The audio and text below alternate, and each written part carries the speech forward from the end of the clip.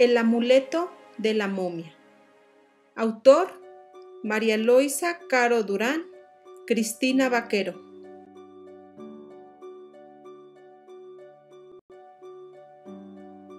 Debemos concluir el trabajo de ciencias.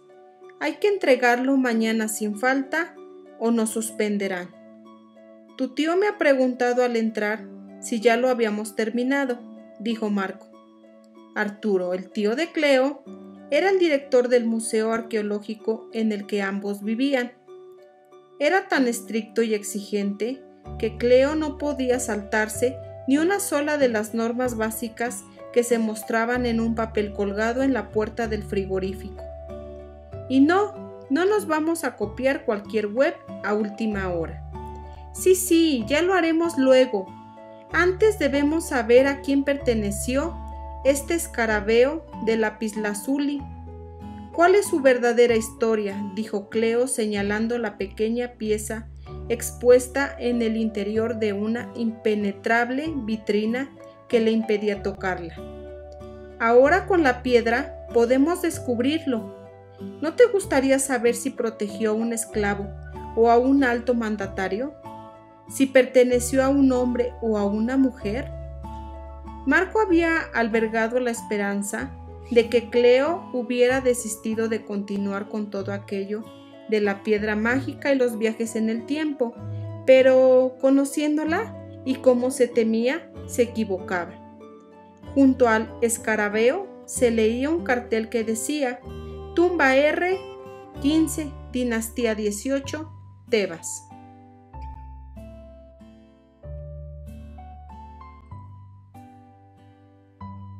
Ah, no, replicó Marco con determinación. Rotundamente no. Ya te advertí que no contarás conmigo. Todo eso es una locura. Además, aún tengo muy presentes los mordiscos de aquellas feroces hormigas hambrientas. Los llevo marcados en cierta parte de mi cuerpo que no debo mencionar. Querido Marco Antonio, necesito que me acompañes. Ya sabes que te nombré mi ayudante oficial. Eres perfecto para ello, mi compañero irreemplazable. Egipto es la cultura favorita de mi padre, y si lo encontráramos allí... Ah, no conseguirás convencerme con tu chantaje emocional. Sabes que eso es imposible. Es mucho más improbable que hallar un grano de arena plateado en el gran desierto. Antes de que Marco continuase con aquel alegato, Cleo lo agarró de su camiseta favorita, aquella que le otorgaron como premio por superlector en la editorial Weebly Books y lo arrastró hasta el patio. La voz de Arturo, que se acercaba desde el pasillo, llenó de esperanzas a Marco. Cleopatra, ¿has visto cómo has dejado tu habitación? Pero no llegó a tiempo. Cleo expuso a los rayos del sol la piedra de mil colores y pronunció las palabras mágicas. Escarabeo, háblanos.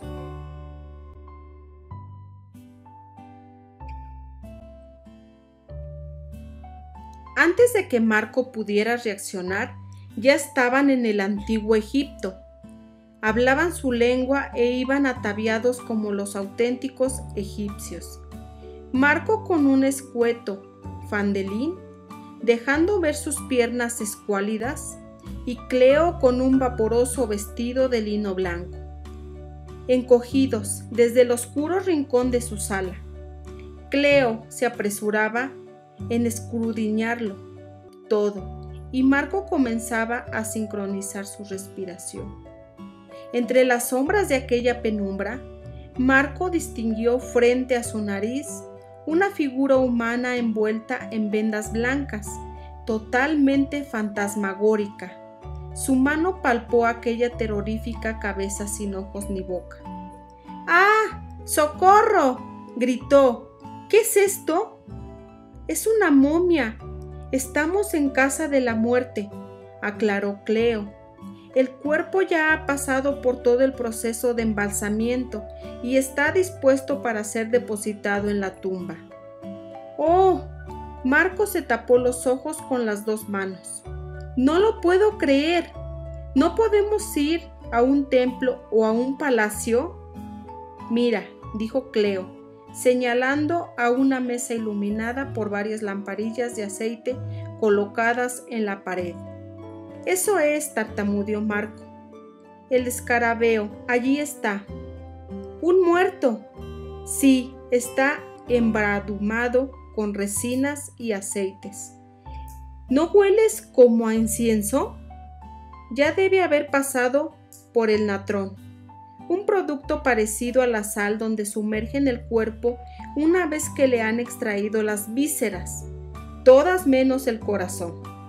El hígado, los intestinos, el estómago y los pulmones estarán en esos vasos que se llaman canopos. Para, no sigas, me estoy mareando. El cerebro lo extraen a través de la nariz. Con esto, dijo Cleo de forma sorpresiva, mientras levantaba frente a la nariz de Marco un gancho metálico.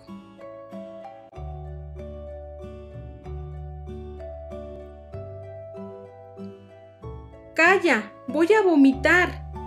Vamos a acercarnos para ver el escarabeo. Nos van a descubrir. Tú puedes pasar por uno de ellos con ese pelo alofró y tu piel color arena tostada. Pero yo no me convertiré en esclavo, dijo Marco muy serio. O en un dios con ese rebosante pelo liso y ridículo adornado tu carita redonda, iluminada por esos ojillos celestes, se burló Cleo. El embalsamador estaba descansado en un habitáculo al que Cleo se asomó por una pequeña ventana. Está comiendo cebolla, dijo en voz baja, y seguro que la bebida que tiene, esa jarra de cerámica, es cerveza, un menú del antiguo Egipto. ¿Cebolla? Si conocieran los helados de chocolate les encantarían, dijo Cleo. ¿Cómo puedes pensar ahora en eso? Hay tal mezcla de olores en este lugar, a perfumes, a humedad, a muerto, que mi nariz anda totalmente desconcertada. Acércate, dijo Cleo. Marco dio unos pasitos titubeantes. Un poco más. Mira, es el mismo escarabeo del museo. Tiene dos incisiones inconfundibles en forma de V en la parte trasera. Sí, sí, no hay duda, ya lo has visto. Ahora podemos volver.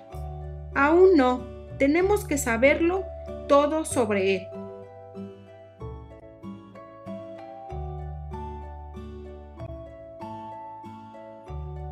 Sin pensarlo un instante, Cleo cogió el escarabeo con dos dedos y sus labios fueron desbordados por una sonrisa inmensa. ¿Pero qué haces? Suéltalo, dijo Marco. Cleo lo manoseó hasta que se percató de que sobre una mesita auxiliar, junto a los frascos y resinas y bálsamos, había un pergamino. La joven lo extendió por completo y comprobó que se hallaba ante un importante hallazgo. ¡Caramba! Son los datos de difunto. ¡Qué emocionante! Sus ojos se iluminaron al iniciar la lectura. Se llamaba Inhotep y fue carpintero de una minúscula aldea junto a Tebas participó en la elaboración de las puertas de un templo dedicado a la diosa Ator. Estuvo casado con Nefer y tuvo cinco hijos cuyos nombres... Cleo no pudo seguir leyendo. Se acercan pasos, dijo Marco asustado. Vaya, qué fastidio, dijo Cleo dando un zapatazo. Ambos volvieron a esconderse en el rincón más oscuro de la sala. El embalsamador regresó junto a un hombre al que llamó Admed. Aquí lo tienes, dijo mientras le entregaba el gigante de nariz aguileña, el escarabeo de Impoté, el que debería haber colocado entre las vendas. Esto no tiene sentido. Aquí está sucediendo algo extraño, dijo Cleo. Ese hombre tiene aún peor aspecto que los magníficos actores del pasaje de terror. al que un día te empeñaste en llevarme. Admed giró la cabeza hacia el lugar donde estaban ocultos, y fue entonces cuando comprobaron que tenía un ojo completamente blanco. Marco dio un respingo hacia atrás, convencido de que los había descubierto. Estos hombres sin escrúpulos trafican con el ajuar de los difuntos, exclamó Leo. Pues no se hable más, dijo Marco. Ha llegado el momento de volver.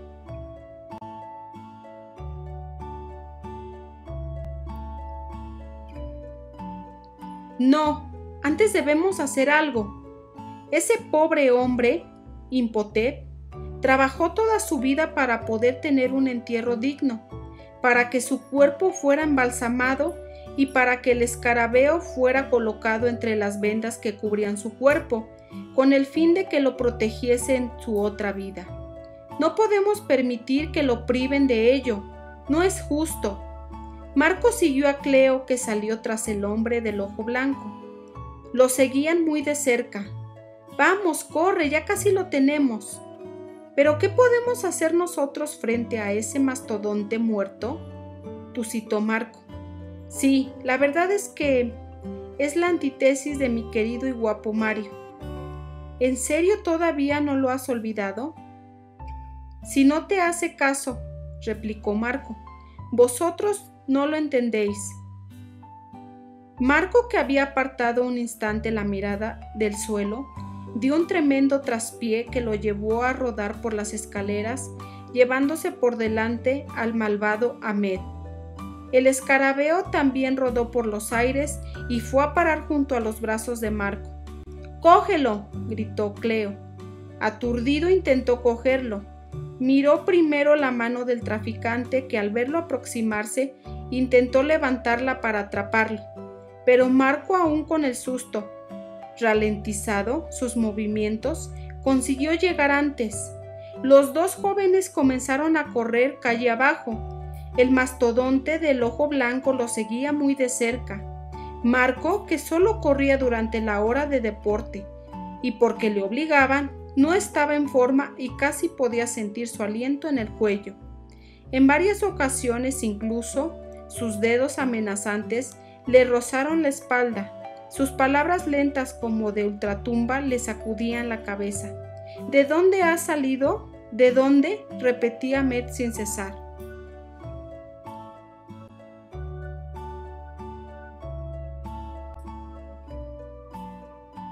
No puedo más, Cleo, repitió muerto de miedo y prácticamente sin respirar.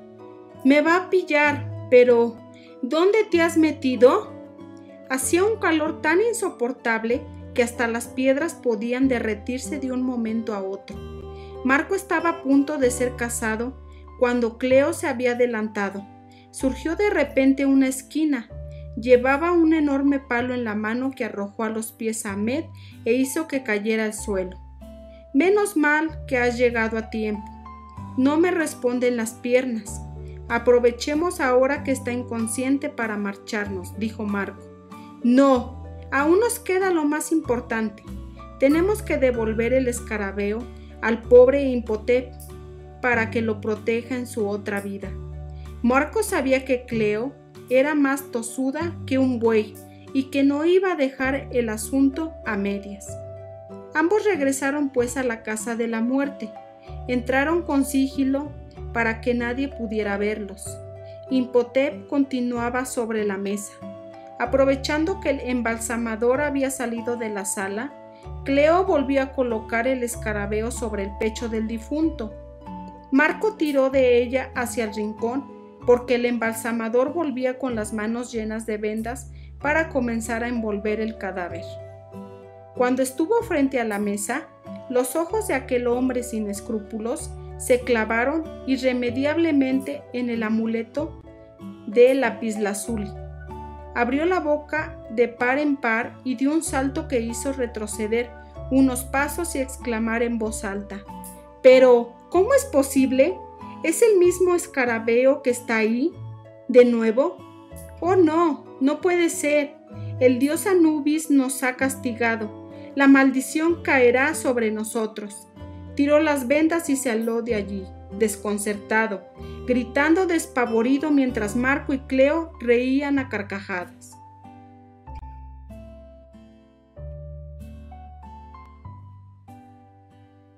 Ahora sí, ya hemos concluido nuestra misión, dijo Cleo.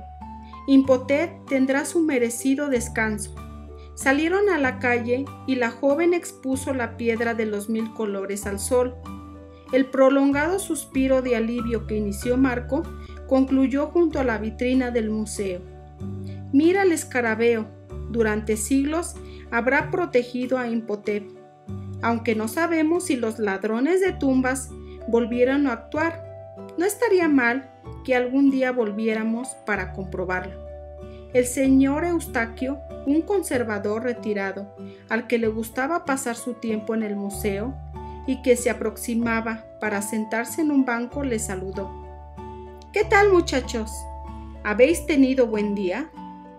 Marco era incapaz de mentir y comenzó a balbucear, pero Cleo rápidamente respondió mientras se atusaba la cinta roja que al final de su frente reconducía su abundante pelo rizado proyectado ligeramente hacia arriba. Ha sido un día tan fabuloso que ni se lo puede imaginar. Arturo cruzó el patio y sin levantar la cabeza con sus gafas redondas pegadas al papel dijo, En media hora quiero sobre la mesa de mi despacho el trabajo de ciencias.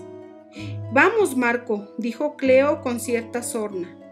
¿Cómo has podido olvidarte? Debemos apresurarnos, o no lo terminaremos a tiempo. Marco levantó ambas cejas y lanzó un resoplido resignado. Fin.